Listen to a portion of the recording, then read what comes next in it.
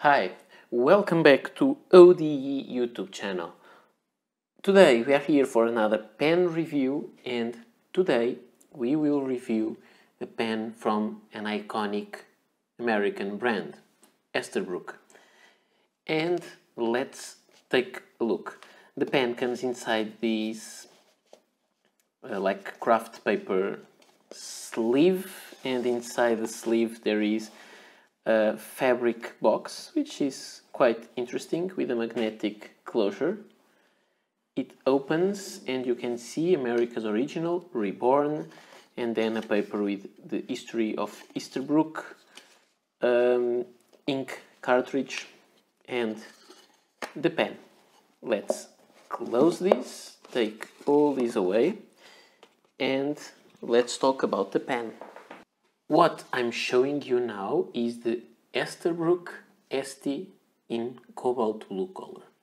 First thing that I have to say is that this color is really beautiful and the material is, this acrylic is very very beautiful. Now, this is a typical cigar shape pen with a simple clip like a, a blade that is very very springy, very easy to use and it says there Esterbrook and nothing more. More than that is just the beautiful resin material.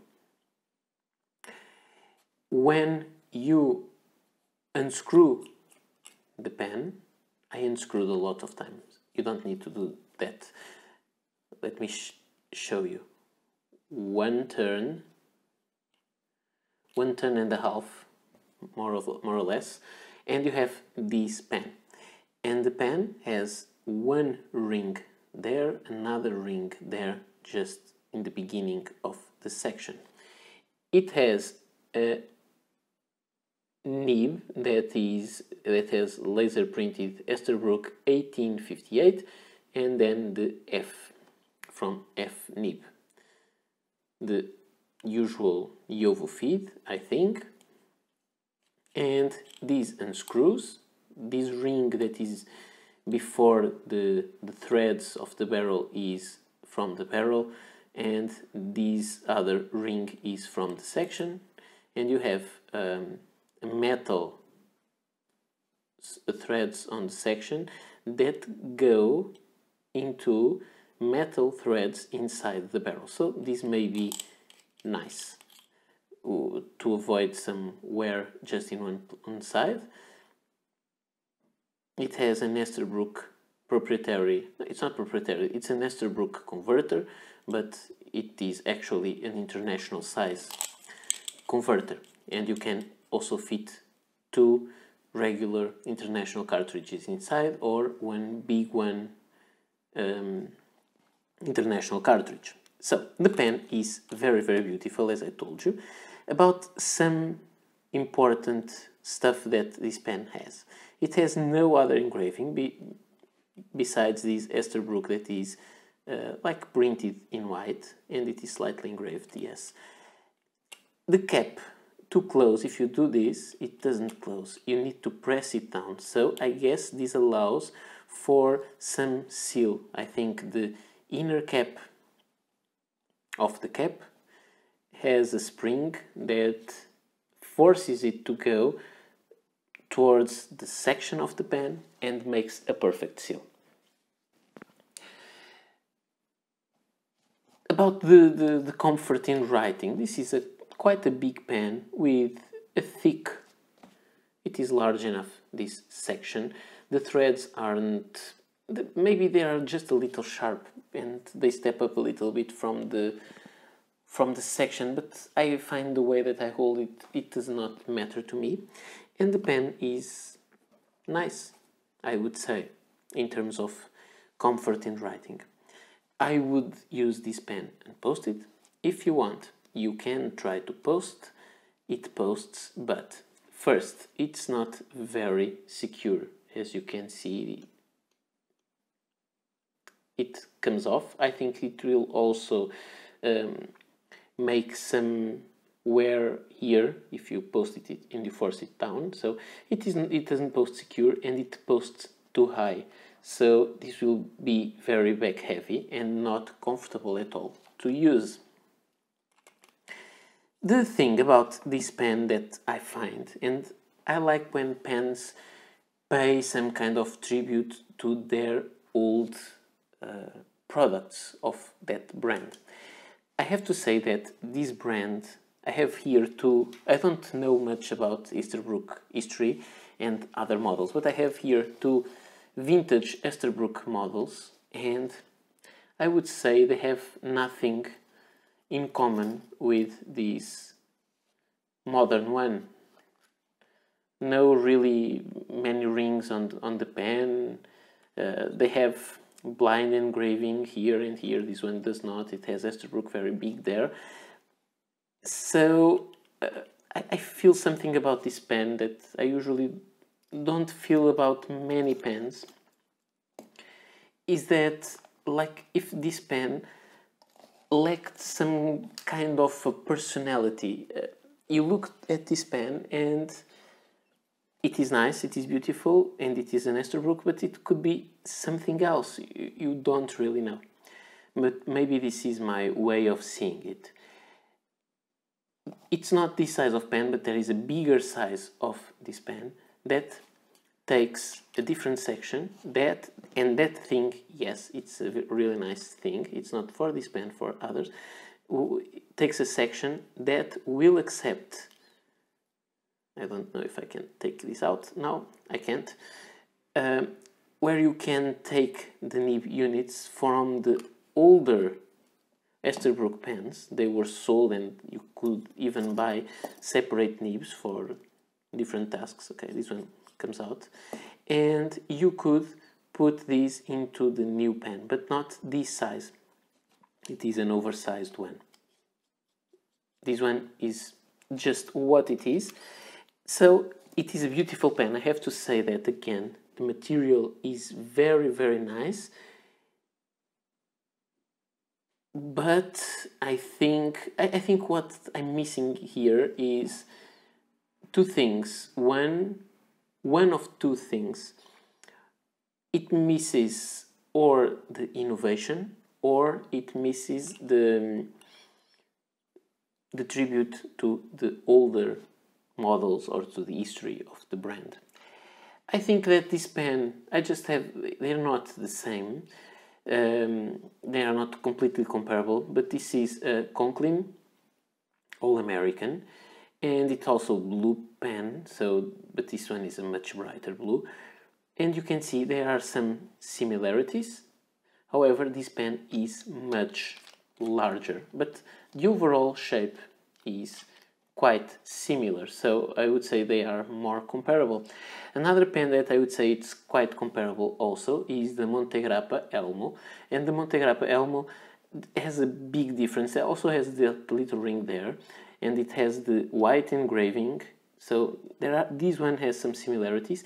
However in this case the cap is flush to the barrel which makes it to have a larger step here but then it doesn't have a step from the, the threads to the barrel but I would say it's kind of similar and today Montegrappa makes a lot of this pen and for example, this pen really is an homage to an old uh, model. This also is this one. I think it. Don't get me wrong. I think this is a really nice design. I really like the look of the resin. I just don't know how to fit this pen into the overall design of the brand. Maybe I should know more of Esterbrook, but they don't are that usual here in Portugal. So I'm not saying this is a bad pen, I'm just saying I don't totally get why they came up with this design. About comparison with other pens, we have here the Lamy LX Ruthenium and the Parker Centennial Duofold and the Esterbrook is bigger than both those pens. When we uncap all of them we will see that the Esterbrook is of the same size of the Parker Centennial Duofold and just a little bit shorter than the Lamy. This pen takes a number 8 steel nib and for that number 8 steel nib and this beautiful resin you have to pay 195 euros. Although it's nice, I think it is, it may be a little high and we are talking of a pen that is not on the luxury, on the luxury market like Montegrappa or Montblanc or something like that. I'm not sure if this is not a little bit too high for I would say quite a regular pen. Almost 200 euros. Okay this is all about the overall aspect of the pen. Let's go to the writing sample. And here we are with the pen and paper and let's see how this pen writes First, I have to say again that the pen is very comfortable to hold. The, nice of, the size of the pen is really nice. I really, I really enjoy this pen in terms of the, the, the comfort in writing. So, this is the Esterbrook Estie Cobalt Blue. One thing I have to say is it has a fine nib. However, mm, let's focus. It has a kind of a stubbish end of the nib. I don't know if this is regular. I would say this was something done maybe at the store at the Appelboom sent me this pen for review so maybe this is some adjustment they made at the store and because some particular reason maybe it was not sold or it got returned by the by the seller and I had this for for review. So this is a little bit stubbish for my preferences. Now the ink that is inside is the Graf von Faber-Castell violet, blue. And the paper is the usual pet. And let's take a look at the writing of the pen. So first the downstroke with no pressure, the side stroke, and you can see that this is much heavier than that one. That's why I say this is a stub nib. If we do this, you can see the line variation but I think you get and if you write within an angle you can see that here the line variation is the line is much thicker here than there. So this really is a stubbish nib.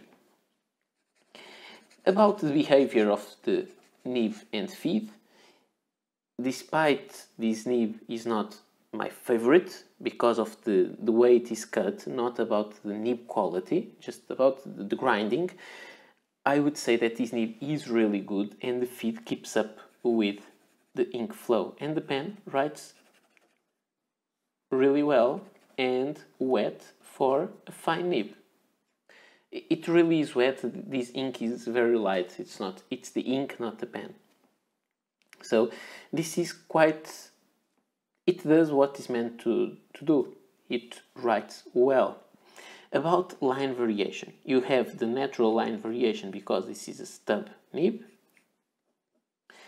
If you want to press it harder, you'll have a little bit more of ink and just a little bit more of the line of width, line width. And if you write upside down, it will write a little bit finer, but scratchy. It's not pleasant and it will eventually uh, dry out. So not a good experience. Forget about it. About the wetness you saw, it writes well. So what I have to say